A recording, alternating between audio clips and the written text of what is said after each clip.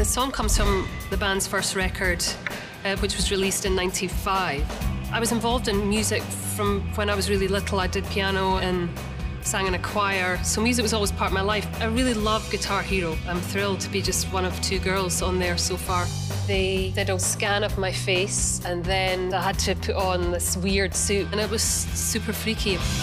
I mean, I think for me, what's great about Guitar Hero is the fact that the obsessiveness of being in a band catches on fire to those who play the game too, and that's that's a large part of being in the band. That kind of obsessive love of it. At the moment, it's very hard for rock music to be really heard in mainstream media.